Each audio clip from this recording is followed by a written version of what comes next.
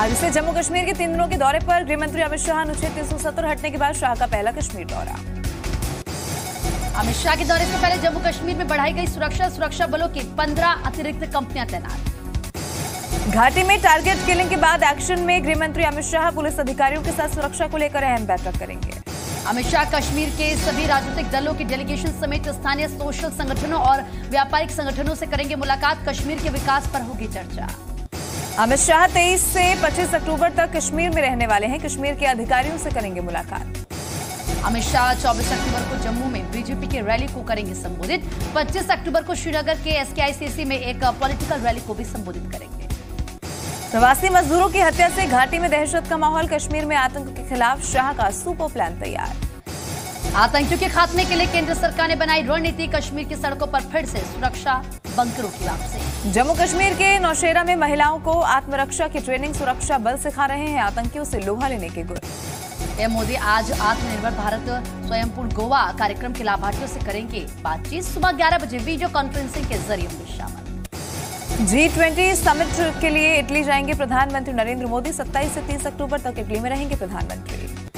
कांग्रेस की केंद्रीय चुनाव समिति की आज शाम बैठक। यूपी चुनाव के लिए उम्मीदवारों के नामों पर लगेगी मोहर करीब 50 सीटों पर उम्मीदवारों के नाम तय किए गए हैं। पंजाब कांग्रेस के झगड़े में अरूसा आलम की entry deputy CM Sukhjinder Randhawa बोले कैप्टन की पाकिस्तानी महिला मित्र अरूसा आलम के आईएसआई लिंक की जाँच करेगी पंजाब सरकार। डिप्टी सीएम रंधावा का कैप्टन अमरिंदर पर पलटवार कहा अरूसा यूपीए और एनडीए के कार्यकाल में भारत आई तो क्या दोनों सरकारें आईएसआई से मिली हुई थी? अनन्या पांडे से लगातार दूसरे दिन भी एनसीबी दफ्तर में की गई पूछताछ। एनसीबी ने करीब चार घंटे पूछताछ की। पिता चंकी पांडे भी साथ में मौजूद एनसीबी की पूछताछ के दौरान नवस थी अनन्या सूत्रों के हवाले से खबर कई सवालों के जवाब नहीं दे पाए अनन्या पांडे। ड्रग्स केस में अनन्या पांडे से फिर से होगी पूछताछ। सोमवार को एनसीबी ने फिर से पूछताछ के लिए बुलाया। उपभोक्ता अदालतों की रिक्तियाँ भरने में देरी से सुप्रीम कोर्ट नाराज़ कहा न्यायाधिकरण नहीं चाहिए तो कानून खत्म करे सरकार। कश्मीर में एनआईए की 10 जगहों पर छापेमारी आतंकी साजिश के आरोप में आठ गिरफ़्तार सूत्रों के मुताबिक इस साल अब तक मारे गए 131 आतंकी। आतंकियों के 26 मददगारों को जम्मू कश्मीर से आगरा शिफ्ट किया गया। इन आतंकवादियों को वायुसेना के विमान से पहले दिल्ली लाया गया फिर इन्हें आगरा ले जाया गया। चीन से चल रहे तनाव के बीच भारत की बड़ी तैयारी असम में Pinaka multi barrel rocket launcher की टेस्टिंग 40 सेकंड में 12 रॉकेट कर सकती है फायर 90 किलोमीटर तक है रेंज। मुंबई समेत पूरे महाराष्ट्र में सिनेमाघर और थिएटर खुले।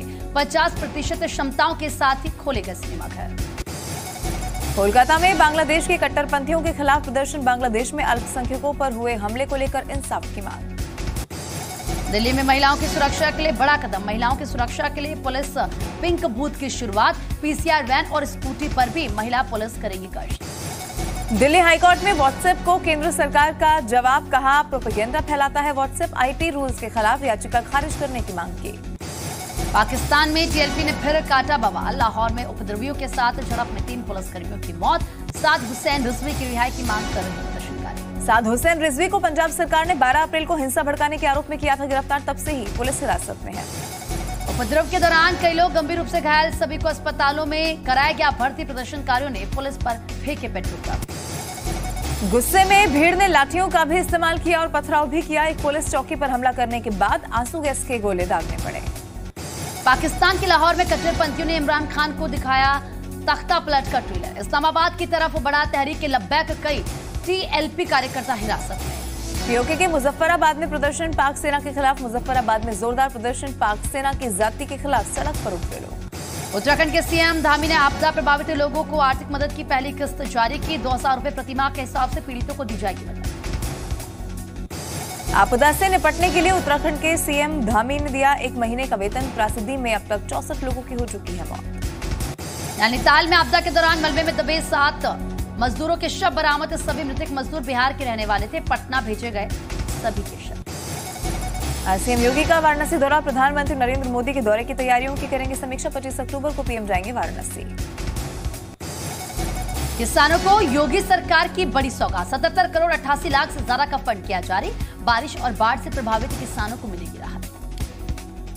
लखनऊ में सीएम योगी ने कृषि विभाग में बांटे नियुक्ति पत्र संबोधन के दौरान कहा आज उत्तर प्रदेश हर क्षेत्र में आगे देश की अर्थव्यवस्था में प्रदेश नंबर टू पर। आज से पूरे प्रदेश में कांग्रेस की प्रतिज्ञा यात्रा की होगी शुरुआत। कांग्रेस महासचिव प्रियंका दिखाएँगी हरी झंडी। कांग्रेस की पहली प्रतिज्ञा यात्रा वाराणसी से शुरू होकर रायबरेली तो वहीं दूसरी यात्रा बाराबंकी से शुरू होकर बुंदेलखंड तक जाएगी।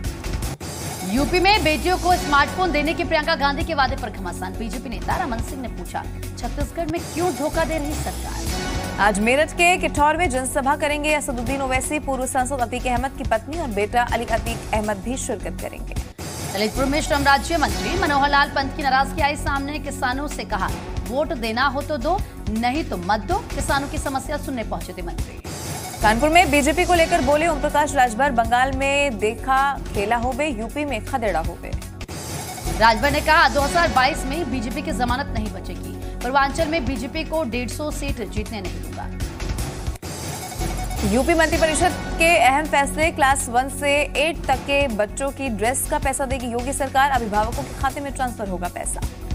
लखीमपुर हिंसा केस में पुलिस को फिर मिली आरोपियों की रिमांड। आशीष मिश्रा समेत चारों आरोपियों की चा, दो दिन की रिमांड मिली है। 24 अक्टूबर तक पुलिस कस्टडी पर रहेंगे उत्तर प्रदेश के सोनभद्र में बाराफात तक के जुलूस में लगे देश विरोधी नारे। वीडियो की जाँच के बाद पुलिस कर रही है कार्रवाई।